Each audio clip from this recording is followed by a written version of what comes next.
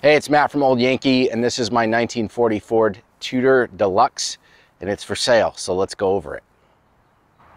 Okay, I've had this car just about seven years. I've done a lot to it in that time, including installing a drop axle from Nostalgia Sid. Uh, we did 53 Ford F100 brakes up front for better stopping power. The back are still a stock Lockheed style. It's got a 354 rear end, which basically means you can do 80 to 85 down the highway in this car without any issue at all. The rear is a Posey spring uh, set up for lowering. You might ask why there's not a old Yankee spring in the back of the car. Uh, laziness, that's why. And it works. It lowered the car, did what it's supposed to do. Same with the uh, spring up front in this car. It's also a Posey spring and same thing. It, it works. And uh, I just never got around to putting an old Yankee spring in there. That front Nerf bar is actually off an old hot rod out of Pennsylvania. I'll include some pictures of that as well. Inside the car, we got stock seat covers installed by Custom Mitch. Got a 48 Ford steering wheel that came out of an old hot rod. Got some moon eye gauges below the dash here. Got lots of little chrome accessories. The ashtrays, the gauge bezel, back seat. It's also got the seat cover, nice headliner, no rips, no tears. Rubber floor mat up front, carpet in the rear.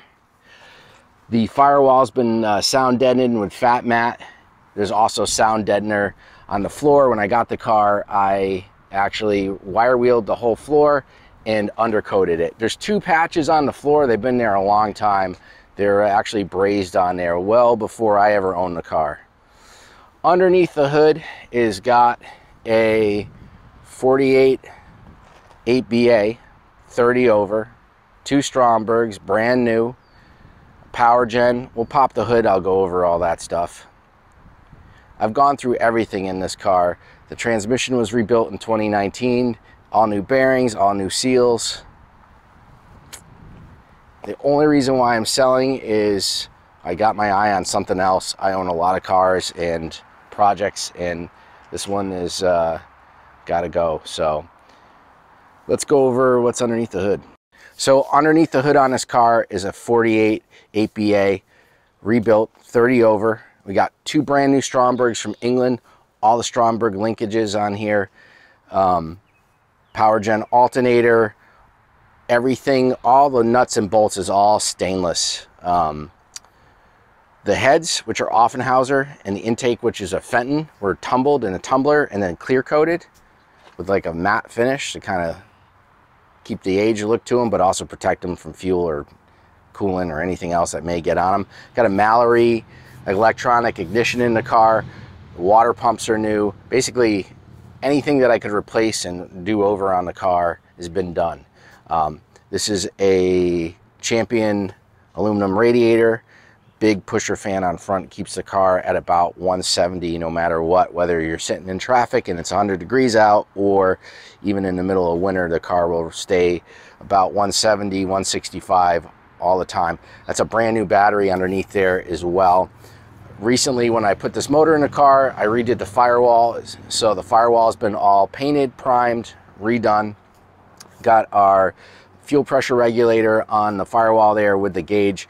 The car does run an electronic fuel pump. It runs beautifully. I'm going to start it up. I'm going to start the car for you. It's literally just like one hit on the button here. Every time. And if you want to walk around the back, we can hear what it sounds like as well. It's got dual exhaust, running two glass packs. I'm gonna get down by the exhaust here so you can actually hear it a little bit better because it's by my mic. But yeah, it sounds great. It's not overbearing and when you're going down the road. And there's a lot of sound deadener in the car too. So if you notice the car is got pinstriping on it, this was done by One Arm Bandit.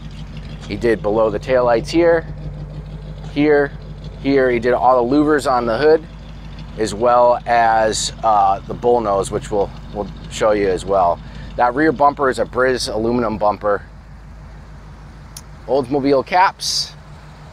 on 15s. Those are 820 15s in the rear, 590 15s up front. The tires are new. Yeah, more of Charlie's work up front here, going over the headlights. Did the bull nose, and then all the louvers here as well. The hood was louvered by Derek Pesko from All Star Hot Rods. He also painted the car. It's Fieldstone Gray is the color. This is a well put together car that needs nothing. It's turnkey and ready to go. I'm asking 24.5 or best reasonable offer. Reach out to me with any questions. Thanks.